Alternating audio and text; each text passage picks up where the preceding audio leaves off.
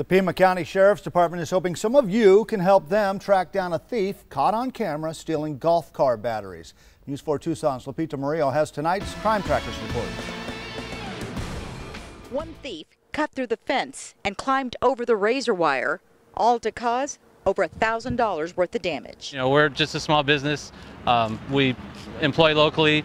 Um, we support our community. Chris Collins is the operations director at Coyote Golf Cars. We do a great job securing this place, and like I said, uh, video, infrared perimeters, um, you know, eight foot razor wire fences and, and the such. However, this woman managed to get in.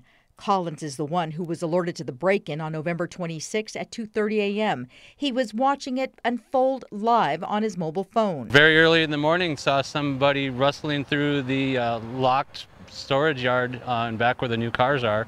And you know, to my surprise, they're actually looking in seats and you know trying to see what they could find. He called 911, and within minutes, Pima County Sheriff's deputies showed up. They checked the business and the yard. They made sure that everything was secure. They couldn't find a location or entry point that the uh, su suspect had entered or left. As soon as it was daylight, employees looked around and discovered several starting batteries inside the golf cars were stolen.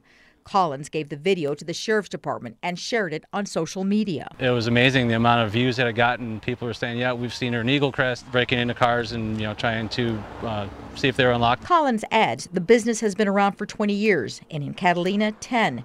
He and the employees take this theft personal. And you're stealing from um, people who are providing for their families, you know, and that sort of thing, and it affects our bottom line. He has a message for the thief for a little bit of gain, you know, if you need the money and that's what you're doing it for, is your monetary gain, we'll put you to work. You know, put in an application somewhere, go to work. The Pima County Sheriff's Department says they need your help to find this individual. So if you have any information, call 88 Crime or 911.